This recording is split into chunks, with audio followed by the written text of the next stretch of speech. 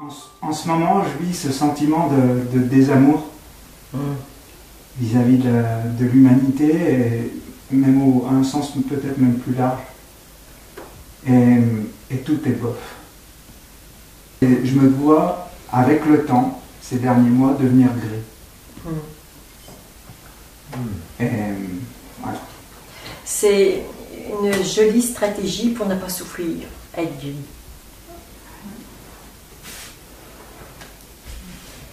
Et le premier sentiment avec lequel tu pourrais te réconcilier, c'est ton impuissance.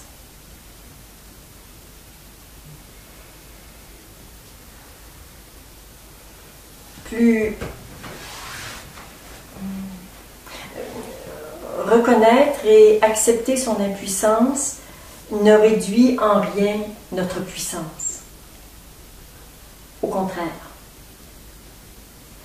Et quand on voit l'immensité de la tâche à accomplir, quand on est euh, une poignée d'humains, on se dit, euh, allez, on s'en raconte des belles. Et qu'est-ce qu'on peut faire vraiment? Bon, on n'en sait rien et, et, je ne me sens, je ne m'autorise pas à m'occuper du résultat. Ça ne m'appartient pas. Le résultat appartient à à une relation et, plus à, quelque chose qu'il y a chez vous. Tu vois, je peux essayer de faire un beau stage pour vous. Euh, j'ai déjà essayé et, ça ne marche pas. Je, viens du monde de l'enseignement, bon, management et tout. Et, j'ai compris d'ailleurs, et j'ai enseigné aux enseignants. C'était ce que j'ai fait peut-être euh, une chose importante. C'est mon boulot, c'est d'enseigner. Et votre boulot, c'est d'apprendre. Alors faites votre boulot et moi je fais le mien. Et j'ai vu que quand j'enseigne, qu'importe euh, le type d'enseignement, il y a des tortues il y a des fusées. Il y a un truc entre les deux. Et quand je donne le meilleur de moi-même à une tortue, elle avance d'un petit pas. Et je dis Alléluia. Et quand je fais avancer une fusée, elle part en orbite et je dis Alléluia. J'ai fait le même travail. J'ai donné le meilleur de moi-même. Ce qui veut dire que dans cet accompagnement euh, à l'éveil de l'humanité, euh, on fait ce qu'on a à faire et le résultat, on ne sait pas quoi, on ne sait pas quand. Mais notre responsabilité, c'est de donner le meilleur de nous-mêmes à chaque instant. Et parfois, le meilleur de soi-même, c'est pas beaucoup. Mais c'est les limites, nos limites humaines.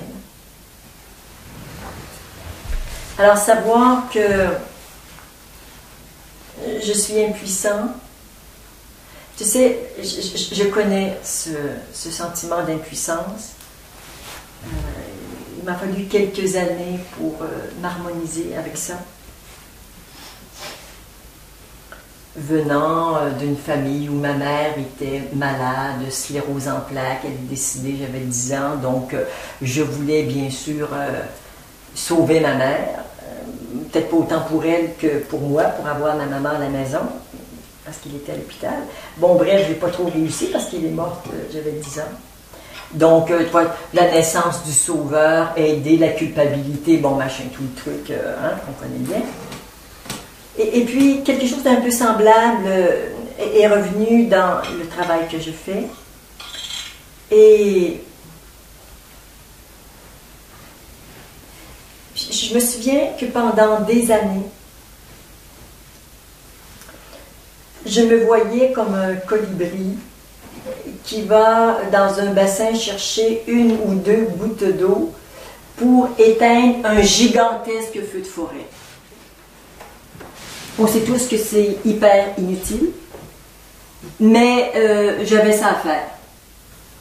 Et je l'ai fait pendant des années, parce que c'est ce que j'avais à faire, point.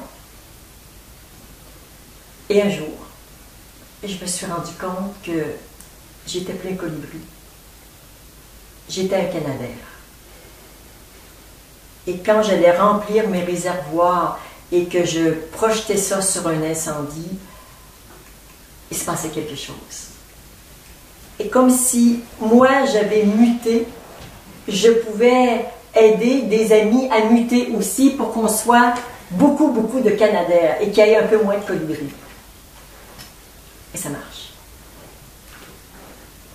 Alors, ce que je veux dire essentiellement, c'est euh, reconnaître et totalement, totalement accepter toute ton impuissance. Et ça, ça va euh, délivrer ta puissance. Qu'il en soit ainsi.